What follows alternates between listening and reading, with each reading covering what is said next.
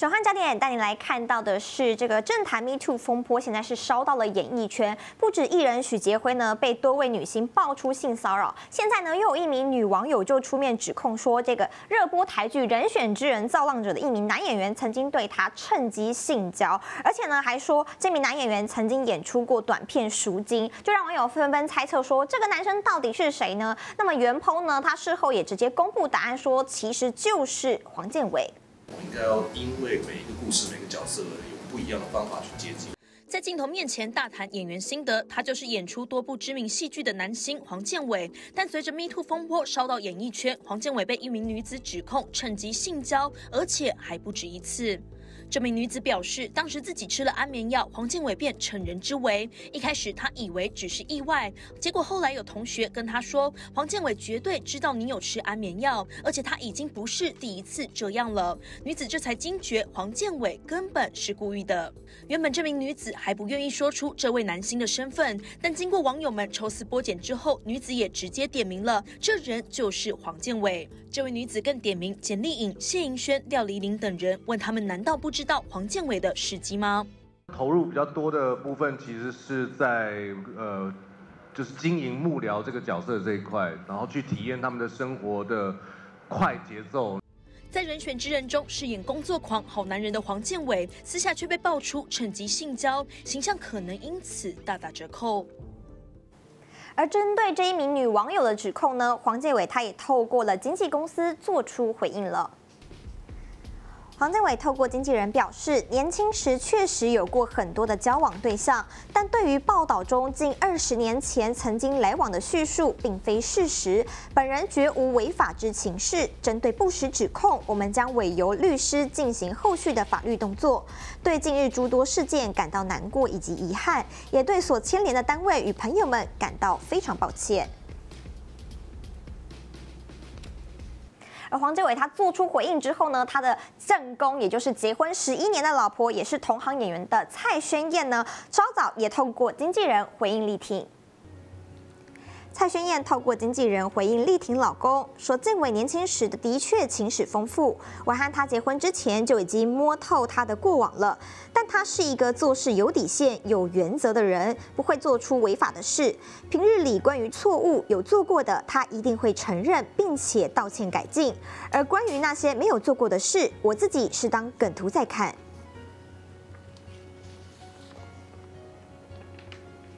这波 Me Too 风暴，现在让许多的名人是纷纷被点名。那根据《镜周刊》最新的报道，号称是最凶国文老师 F9 网红 Q 塔，他昨天也爆料了，他就说有某一位知名女艺人的男友 L 先生，不仅曾经借酒装疯，在包装包厢里面伸出这个咸猪手之外，甚至还在公园对女性性侵未遂。不过由于 Q 塔他在爆料的文里面呢，他并没有指名道姓，所以不少的网友也透过四个线索来当起了键盘。柯南。Q 塔今天在脸书发文透露说，某一位知名女演员的男友曾假借酒意串通友人，在包厢内性侵女性，甚至还在外面企图性侵，在包厢里摸女生屁股，讲一些恶话，甚至在公园对女性性侵未遂，受害者随便问都一堆。而这些黑历史都是在交往期间发生。Q 塔表示，L 先生的恶行之所以没有被揭发，是因为那时那一名女演员正当红，而且还未。对方求情，他念在女人不想为难女人，不想让她难堪，但是并不代表 L 先生过去伤天害理的恶行就能被原谅。而贴文一出，就让不少好奇的网友开始划重点。根据女星出生在书香世家，被奉为是气质女神，还有女友是知名女演员，以及男友曾是男模等线索，以及 L 先生的姓氏暗示，开始猜测这一名男方的身份。不过，更多人也认为性侵未遂太过严重，不应该包庇，批评 Q 塔故意不点名是在蹭热度，而 Q 塔则要大家别检讨受害者。女星赖琳恩哦，一向是以性感的形象出名嘛。那昨天呢，她在出席她的新戏《鬼之执行长》的时候，她就分享了，她说年轻的时候，她曾经拍戏遇到一名男演员，对她说，哦，感觉来了，居然呢就假借拍亲密戏之名，对她又亲又抱，当时甚至连导演都看不下去。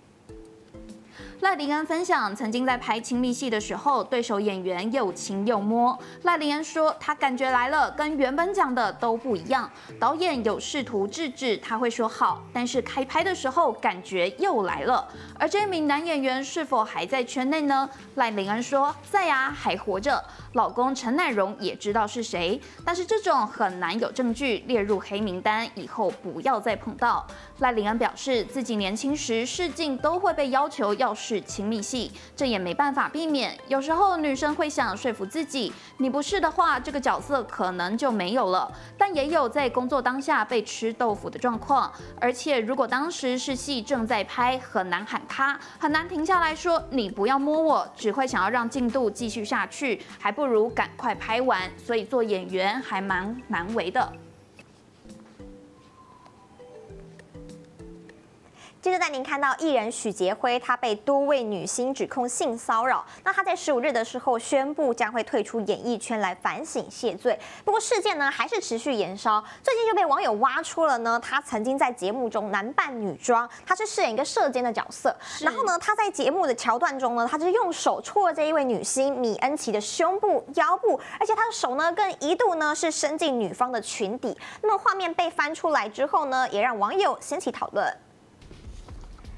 在二零一五年九月播出的《校花来了》中，许杰辉戴着假发男扮女装，扮演女生宿舍的舍监，与女星米恩琪上演一段短剧。过程中，许杰辉先是用手指戳了米恩琪的胸部四下，接着戳向女方腰部，最后将手伸进裙底，做事要捏腿。画面细节被不少网友翻出来讨论，不少人惊呼：“这是真的戳哎！原来以前的尺度这么大，明摆着就是吃豆腐。”不过也有人推测可能是节目的效果。提问：这不是剧剧本吗？公开演出又是剧本，拿这个奖太过头了吧？形成两派说法热议。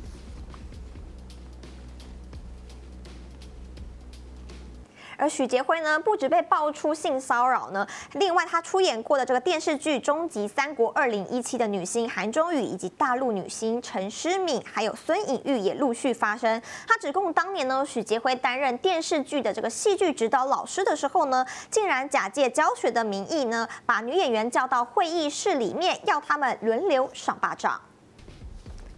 知情人士向 ETtoday 星光云透露，当年中韩韩中宇有向许杰辉表达拒绝这些表演情节，但没有作用。有一次，许杰辉叫女演员们到会议室，假借表演之名，要大家轮流赏巴掌。而当时他们只能互相取暖，没有告诉上面的人，因为许杰辉是老师，也是知名人士，他们会害怕。另外一位当年剧组工作人员表示，女演员之间呢彼此有讨论表演课发生的事情，但工作人员也都只是耳闻这些状况，没有人实际在现场看到一切，也不知道女演员们当时到底有没有跟上面的人通报，事情就不了了之了。